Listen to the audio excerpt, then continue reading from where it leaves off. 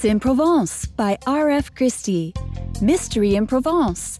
Hi, folks. Inca the Super Cat Detective is back.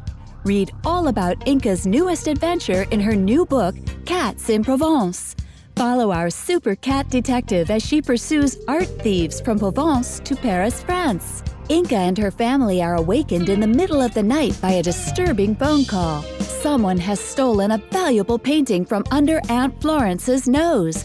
The painting was in Aunt Florence's care, and she is now under suspicion. Missy is sad and upset.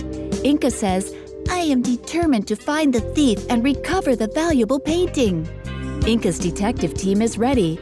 Cara, her pretty Siamese sister, Fromage, her brother and the cheese expert in the family, Charlotte, the adopted hamster, and their neighbors, Terence, the super dog detective, Monk, the gentle blue Russian, Polo, the pint-sized Pekingese. Together, they are out to catch the thief and retrieve the painting. Please subscribe on www.incabookseries.com for a chance to win prizes